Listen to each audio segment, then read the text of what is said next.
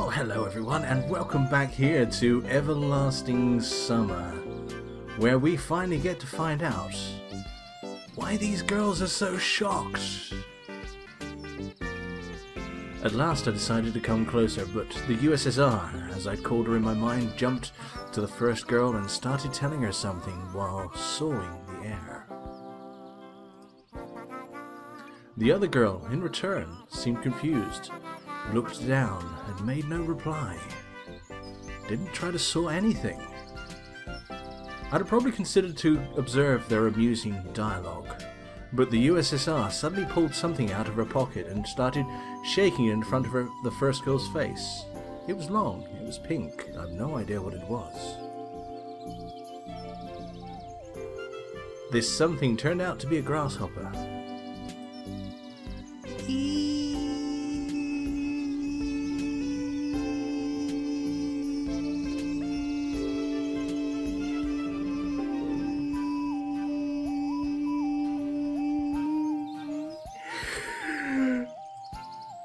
Squealed the first girl.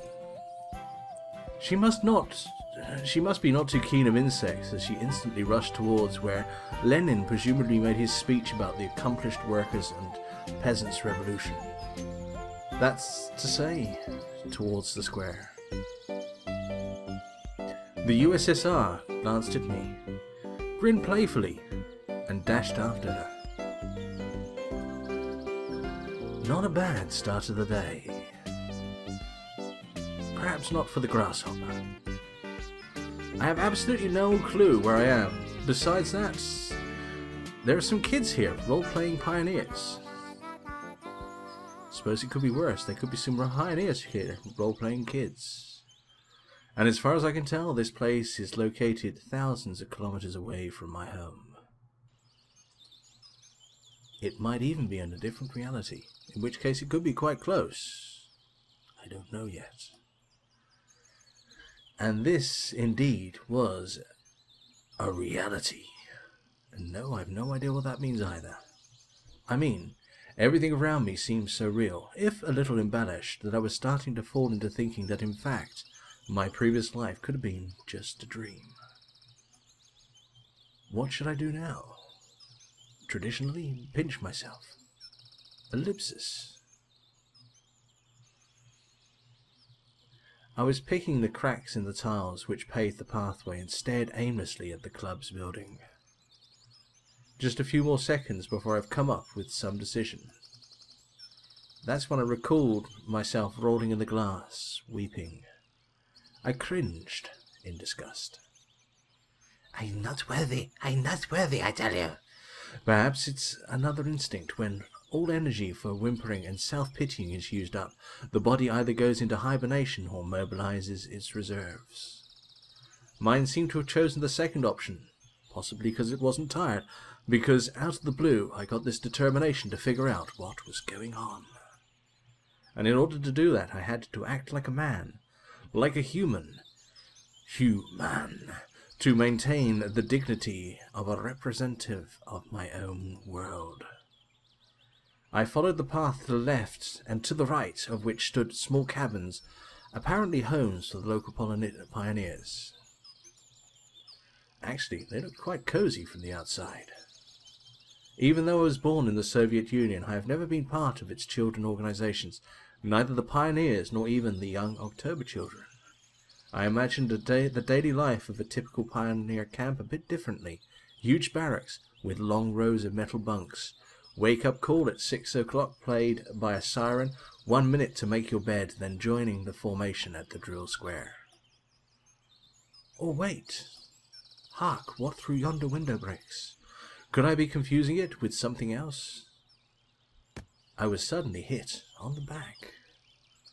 I staggered, but remained on my feet, turned around, and prepared to become a, a hero on become an hero on uh, become a hero while fighting for my life. I disregard these words and use my own. But all I found was another girl standing before me. If indeed girl that was. My mouth hung open in surprise. My tongue almost hit the floor. Here, pick your jaw up off the floor. I closed my mouth. Perhaps I should have withdrawn my tongue first. That hurt. The same pioneer uniform, but it looked, let's say, provocative. Indeed, let's say, hubba hubba hubba, the way she was wearing it. Like all girls I'd met here before, this one was rather cute, but her overly arrogant expression killed any desire to get to know her better. Oh, so you're new here? Ellipsis. Don't you ellipsis me. Fine. See ya. She dashed a threatening glance at me and walked past.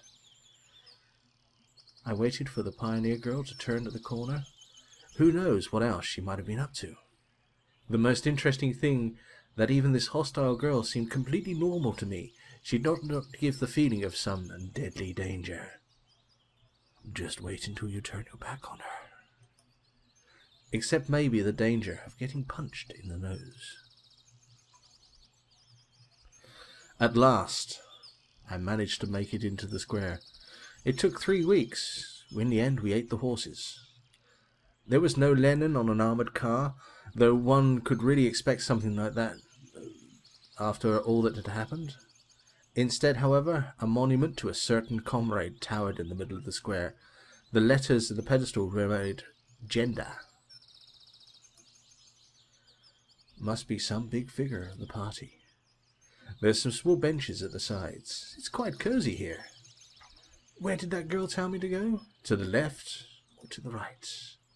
To the left, to the right, to the left, to the right, to the top, to the bottom, to the front, to the back. And why am I going there anyway? Come to think of it, who am I? What am I doing here? What is my what is my motivation for this scene? Ah, right. I've decided to pretend to be normal. Can't you tell I'm normal? I'm very normal. So, to the right. Through a small grove, up the up the hill, down the other side, through the magical Num Num forest, and to a pier. I must have taken a wrong turn. Ew, wrong way. I turned towards the voice. The first girl stood before me. Fortunately, I remember from beforehand what colour her eyes were, because I certainly wasn't looking at them. I did tell you to turn left from the square. Where are you gone? She changed from her pioneer uniform into a bikini. Which is strange, because you'd think she'd stay a girl. But, there you go. Oh, I still haven't introduced myself. My name's Slavia. Actually, my full name's Slaviana, but everyone calls me Slavia. So can you. Uh, woman, yeah. I still felt a bit confused, so I could not come up with more meaningful answers. And what's your name? I felt like she could see right through me. Uh, I, um, yeah, Semyon. Nice to meet you, Semyon. Alright, I'm almost done here. Could you wait here a minute? I'm going to go change, and then we can go to uh, Olga Dimitrievna together. Agreed? Agreed. I'll stand here and just watch you walk away. Um, sorry, I'll stand here and wait for you to get changed. She ran off after those words, and I sat here on the pier and let my feet hang into the water. I was wearing heavy winter boots, but in such weather there's nothing wrong with getting my feet wet. Furthermore, it let me cool myself a little. Looking at the river, I was brainstorming and processing everything that has happened. If this is some side of conspiracy, it's a weird one, even too friendly at times. No, it really looks more like a random event. Some entirely incomprehensible random event involving blondes in bikinis. Shall we go? Slavia was standing beside me, dressed in pioneer uniform again. Let's go. Sorry, wrong voice. Let's go. I've been waiting here for a very short time, but of all the people I met, she looks the least suspicious. However, this fact was already suspicious by itself. We walked to the square. The USS girl who'd hit, girl who'd hit me on the back was there chasing each other. Let me try that one again. The USSR uh, girl and the girl who'd hit me on the back was there, chasing each other. Is it some kind of game they were playing? Okiana, stop running. I'll tell every, everything to Olga Dimitrievna. I'm sorry, I have to do this voice. Aye aye, Captain. I decided not to question Slavia for a while about what was going on and about the local residents. Better first reach this mysterious Olga Dimitrievna. Sounds like she's the boss here. We were walking past the rows of almost identical cabins, some of which looked like fat beer barrows, while others looked more like household sheds. Finally, Shavla, ah, finally, Slavia stopped in front of a smallish one-story cabin. It looked like an artist's painting. The fading paint, chipping here and there with age, was sparkling in the sun. The window shutters, slightly ajar, were swaying in the wind almost unnoticeably, and large lilac bushes were growing on the sides. It seemed as if this ramshackle hut was drowning in the velvet purple storm, and the lilacs, like some elemental force, were inexorably destroying the troop leader's house. What are you standing for? Let's go. Slavia shook me out of my daydreams. And stop teasing Lena already. Lena? Sounds like there's someone inside. Indeed, a moment later the door swung open and Ulyana ran out and dashed past with the same mischievous grin. I think it was surgically implanted. The pigtail girl went out next. Don't get upset about her, Lena. So, her name is Lena. Gotta be thankful it's not Rena, at least. And no, I don't know which what that means. Could somebody tell me in the comments, please? But I don't. She didn't finish her phrase, blushed, and quickly headed towards the square. For some reason I felt like turning round and following her with my eyes, or at least my tongue, but Slavia said, Come. We entered the cabin. Inside, it looked something similar to what I was imagining. Two beds, a table, a couple of chairs, a simple carpet on the floor, a wardrobe. Nothing special, but at the same time it felt home-like and cozy, though this room was almost the same state of disorder as my own flat. A girl standing near the window appeared to be about 25 years old. The nature had obviously gifted her with a pretty face and a good body and legs that went all the way down to the floor. At least one thing can keep you happy in this pandemonium. The locals are beautiful. So, you're finally here. Excellent. My name is Olga Detrimovina. I'm the camp leader. Nice to meet you. I'm Semyon. I decided to talk as if I weren't surprised by anything that was going on. She came closer. We've been waiting for you since the early morning. You've been waiting? For me? For little me? Yes, of course. And when does the next bus come? Because I... And why do you need it? Yeah, right. Why would I need it?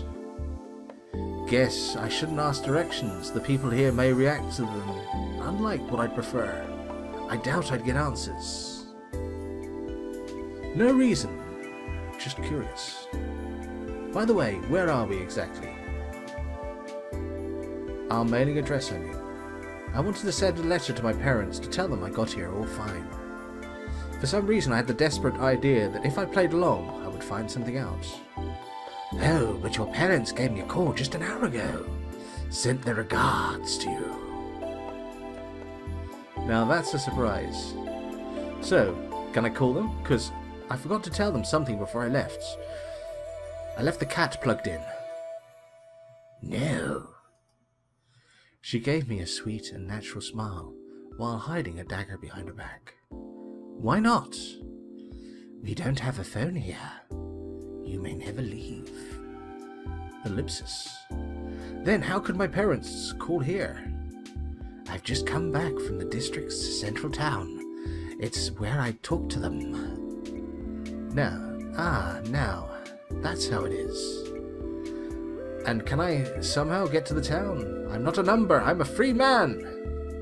No. She kept the same smile. I don't know who she got it from. It seemed to work all right with her, though. Why not? Because the, the next bus only comes in a week. I decided not to inquire how the troop leader managed to get here and back. I would get no answer anyway.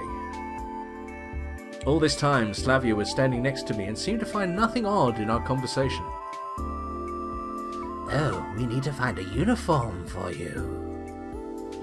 I've got absolutely no desire to put on pioneer shorts or wear the ridiculous red neckerchief. In fact, ladies, you shouldn't either. Take them off. However, wearing winter clothes in summer is not a great idea either. Right. Thank you.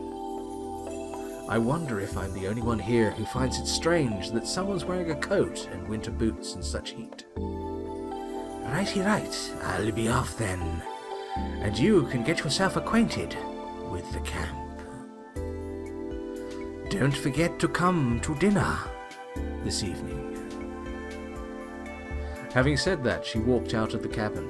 No, walked is not the right word. She levitated. She rushed out. I was alone now with Slavia. You, me, that bed. I must go too. Got things to do.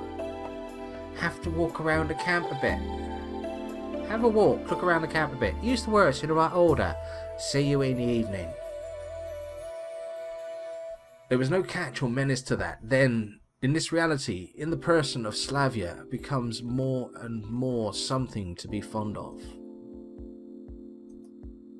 For the first time today, I realized that I didn't want to say ellipsis at that point, and it was awfully hot here.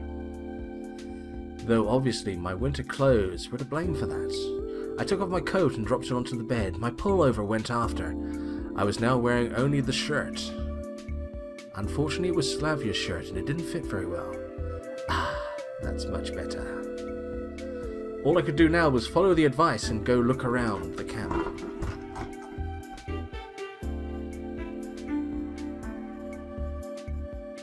I'll try to find something else in the meantime. Passing the local residential district, I saw a pioneer guy coming my way. And it really was a pioneer guy, not a pioneer girl. Apparently there were men even in this Amazon's kingdom. Hello, you must be new here. You must be Semyon, right? And how do you... No, back off. Everyone knows me already. I'm Electronic, by the way. The real one. You can call me that. Electronic was a popular robot character appearing in a popular so Soviet film and book series. He looked like an exact copy of a school kid called Sergei Cheezkov. Electronic, the real one. Things were going from crazy to completely insane. Ha ha ha ha! Alright. Ulyana calls me Cheese. Cheese? Why not cauliflower? Because my last name is Cheezkov. I see. Let me show you around. Now you walk in front. I'll enjoy the view. I accepted his offer as I as it would have been much longer to get to know this place alone. I didn't walk in front. Fine, let's go. We came back to the square again, as if there were no other places to go in this camp. Which is a lie, there's at least two other drawings. Lena was sitting in one of the benches reading some book. Electronic confidently approached her. Hello, Lena. Meet the new guy, Semyon. He started briskly. Hello. Well, you could say we've met, in a way. Yes. She looked away from the book for a moment, glanced at me, blushed, and went back to reading, as if not noticing we were still there. Alright, let's go on.